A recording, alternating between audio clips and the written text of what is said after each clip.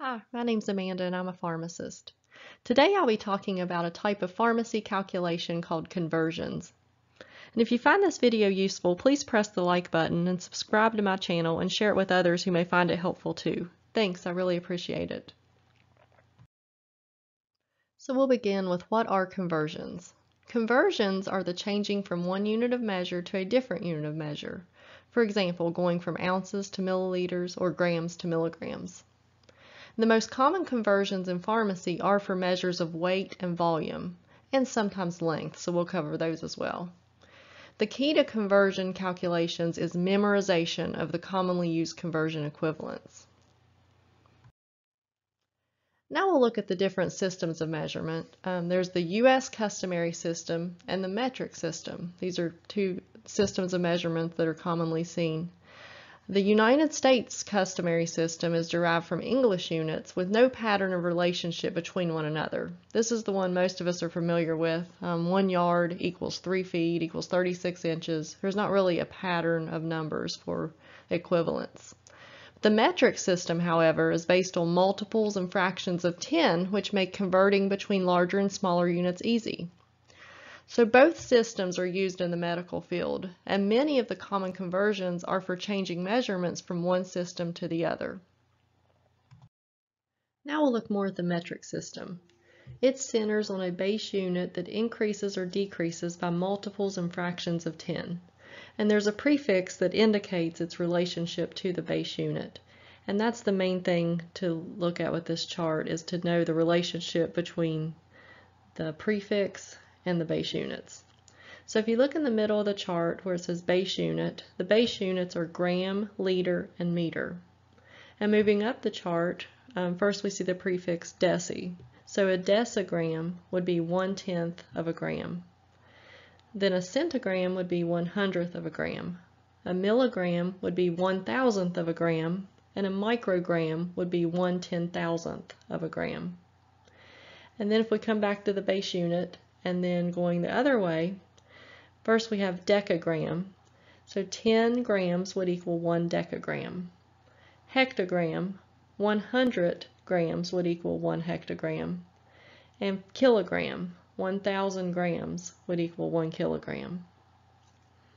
And I've put in bold here the ones that are the most commonly seen in pharmacy.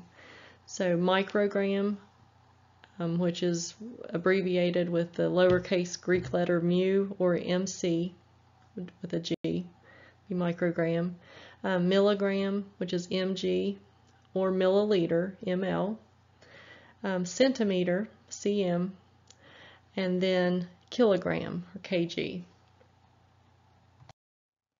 Now we'll look at the weight conversions. Um, weight conversions are used to determine solid medication dosages and quantities and for weight-based dosage calculations. So this chart are the common weight conversion equivalents that should be committed to memory. Um, with gram, 1 gram equals 1,000 milligrams. Um, milligram, um, 1 milligram equals 1,000 micrograms. Um, kilogram, 1 kilogram equals 1,000 grams, and that also equals 2.2 pounds. Grain, which is GR, um, 1 grain equals 64.8 milligrams. And I just put a note here, GR is the abbreviation for grain. That does not equal gram. The G or GM is gram, so be sure you know the difference between those. Pound, which is LB, 1 pound equals 454 grams. Now we'll look at the volume conversions. Um, the volume conversions are used to determine liquid medication quantities and dose, doses. And here, the, here, this chart shows the common volume conversion equivalents in pharmacy. Um, a teaspoon, TSP, um, one teaspoon equals 5 milliliters. A tablespoon, which is TBSP, one tablespoon equals 15 milliliters, which also equals 3 teaspoons liter, which is L, 1 liter equals 1,000 milliliters.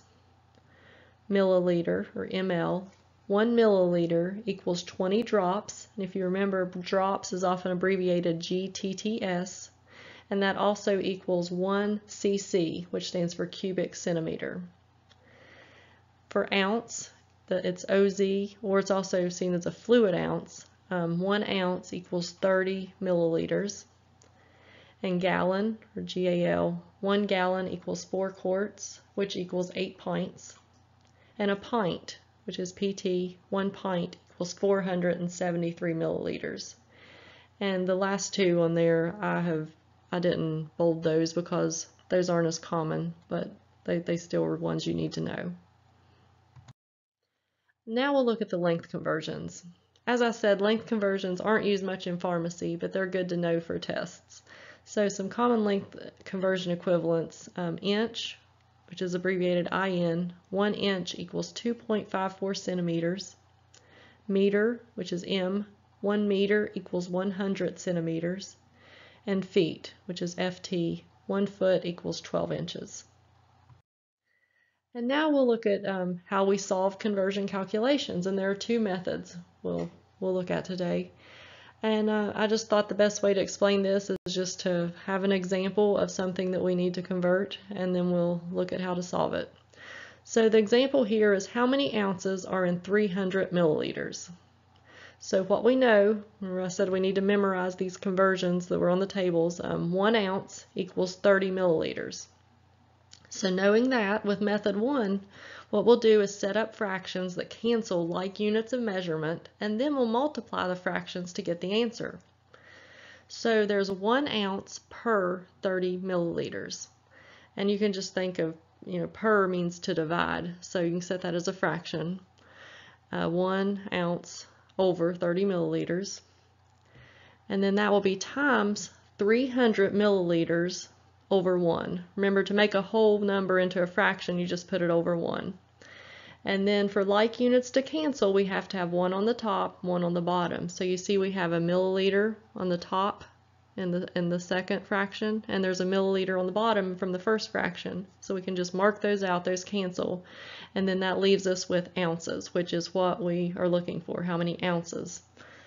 And so if we just do the math here, we have 300 ounces divided by 30, because our milliliters were canceled out, so all we're left with is ounces, and that equals 10 ounces. So just something to remember with this method is the unit that you're looking for must be on the top. After your units cancel, you want to make sure that the one that you're looking for is left on the top so that that will give you um, the correct answer. And now method number two, um, the same problem. How many ounces are in 300 milliliters? As I said, what we know from our memorization, um, one ounce equals 30 milliliters. So with this method too, we're going to set up equivalent fractions, cross multiply, and then divide. So there's one ounce per 30 milliliters, and we're going to see that is equal to x ounces, where x here is a variable representing the answer we're looking for per 300 milliliters. So we've set up, is this is sort of an algebra way to do it. And the first thing we'll do is cross multiply. So we have 1 times 300 mil 300 and that gives us 300 and then we'll divide by the other side to solve for x. So, so 300 divided by 30 equals 10 ounces. And now we'll just look at a summary and kind of a review of the conversions um, video. Um, conversions are the changing of one unit of measure to a different unit of measure and memorization is key. You have to know the the equivalents to be able to even even begin a conversion calculation. And I'll just review the common conversion equivalents once more here. Um, 1 gram equals 1,000 milligrams. 1 milligram equals 1,000 micrograms.